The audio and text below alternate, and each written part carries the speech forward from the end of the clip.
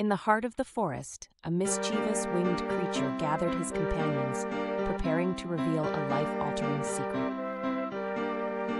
The winged creature, distinguished by his unique ears and sharp eyes, disclosed his extraordinary ability to his mesmerized companions. Their curiosity piqued, the animals attempted to coax the secretive creature into divulging the key to his daytime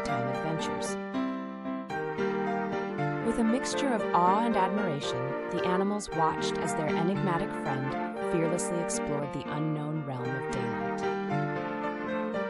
Despite the lingering mystery, the companions celebrated the creature's cleverness and courage, their hearts brimming with admiration.